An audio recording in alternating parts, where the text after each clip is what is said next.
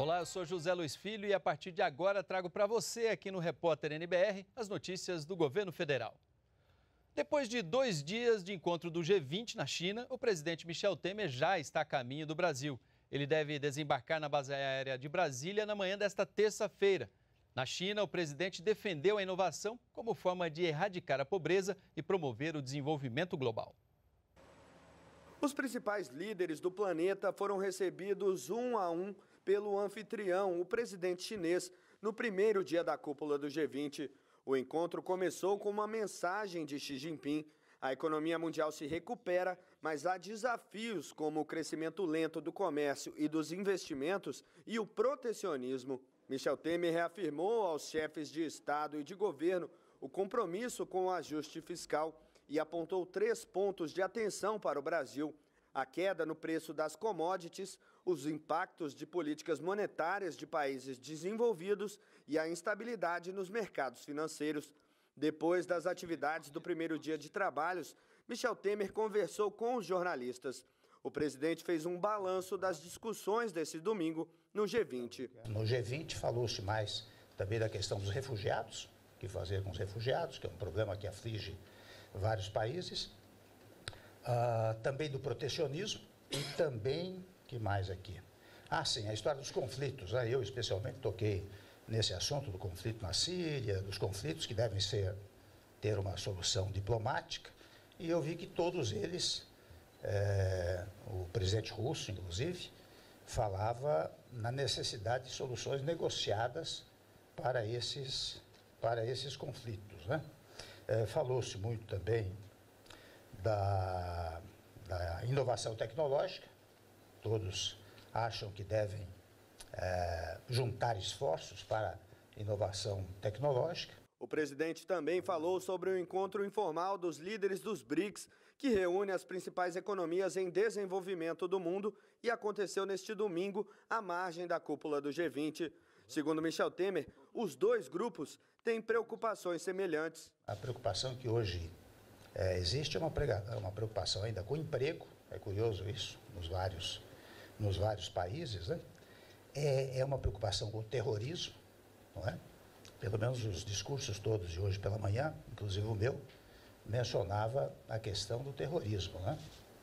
Uh, também a questão climática, porque tanto a China como os Estados Unidos já assinaram o Acordo de Paris, eu estou assinando, comuniquei que agora eu farei o depósito dessa matéria uh, logo agora no início dos trabalhos da ONU, já o ministro das Relações Exteriores, José Serra, disse que em encontro que teve com chanceleres dos países do G20 neste domingo, defendeu o uso de energias renováveis e a redução de barreiras no comércio internacional. Não adianta nós defendermos o livre comércio e queremos que todos pratiquem o livre comércio se nós eh, fazemos aquilo que é chamado de escalada tributária, escalada tarifária.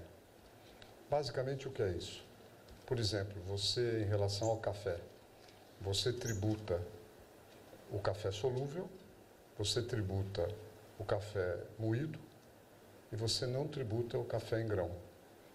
Né? Na verdade, aí está embutido um mecanismo que faz com que os países exportadores gerem menos empregos na sua economia. Tá certo? Isso é feito também com a soja. Inclusive a China faz isso.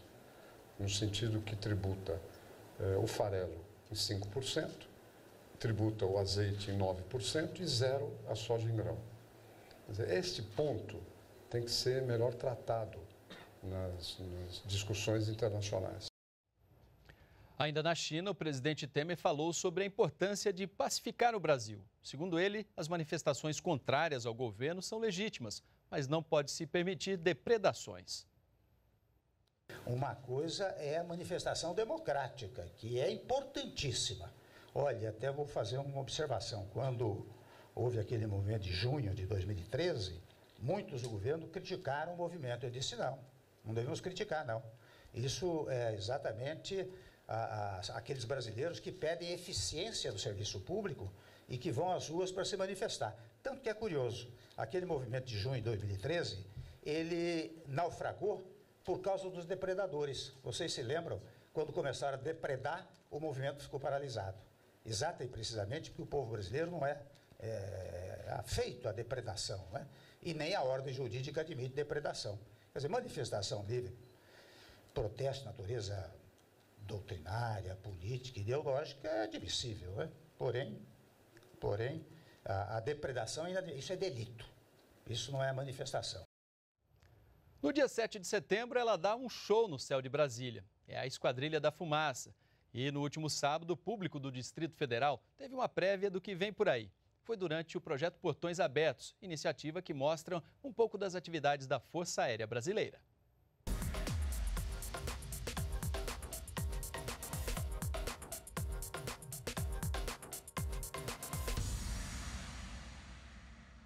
Tiago era um menino de 17 anos em Barbacena, Minas Gerais, quando viu a Esquadrilha da Fumaça pela primeira vez. Hoje, ele atende por Capitão Capuchinho, nome que usa desde que realizou o sonho de ser piloto da esquadrilha. A esquadrilha ela inspira muitas pessoas. O voo em si ele é apaixonante. Né? E as acrobacias elas trazem uma emoção a mais. É um patrimônio do Brasil. A esquadrilha esteve presente na infância de muitos brasileiros e continua fazendo sucesso entre os pequenos e os jovens futuros aviadores.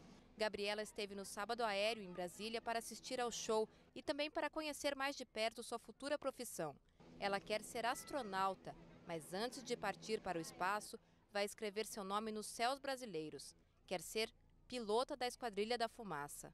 Um dos meus maiores sonhos é ser astronauta e aqui é um dos jeitos que eu chego mais perto de alcançar esse sonho. O Sábado Aéreo é um evento promovido pela Aeronáutica para mostrar à população tudo que a Força Aérea Brasileira tem de melhor. Enfim, quem não gosta de aviação? Ainda mais sabendo que o primeiro aviador de todos é nosso e o dia é em homenagem a ele, Alberto Santos Dumont. Mais de um século depois do seu primeiro voo, o Brasil continua sendo referência na indústria da aviação. Grande parte dos aviões expostos pela FAB são nacionais. Esse aqui é um Super Tucano, um avião produzido no Brasil pela Embraer. E é com esses aviões aqui que os pilotos da Esquadrilha da Fumaça fazem aquelas acrobacias que todo mundo conhece, como por exemplo as do 7 de setembro. Para a gente é uma honra poder trazer as pessoas aqui para conhecer um pouquinho mais do nosso trabalho. A aviação é um tema extremamente empolgante, então é muito bom a gente ter essas pessoas aqui ao nosso lado, crianças, né? E quem sabe futuros aviadores e bons brasileiros. É isso que a gente quer é, esse, esse, é o nosso objetivo aqui. O Luigi garante que o show da Esquadrilha da Fumaça cumpriu com as suas expectativas. Eu gosto quando os aviões fazem o desenho. Eu nem sei o que vai ser, mas a única coisa que eu sei é que vai ser legal. Na verdade, eu não gostei desse lugar, eu adorei.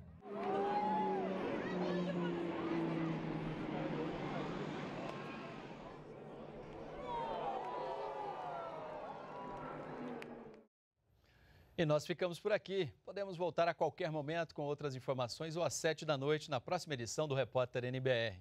Acompanhe também as novidades em nossas redes sociais. Continue com a gente aqui na NBR, a TV do Governo Federal.